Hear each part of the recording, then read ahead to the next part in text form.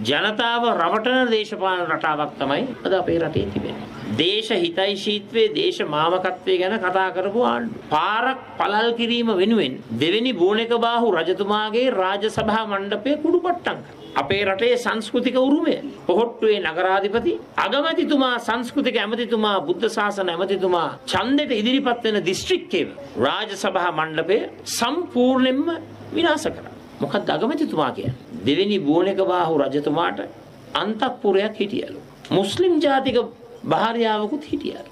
රටේ අගමැතිතුමා රටේ බුද්ධ ශාසන ඇමතිතුමා සංස්කෘතික ඇමතිතුමා මේක දෙතුමට රටට දෙන්න තියෙන උත්තරය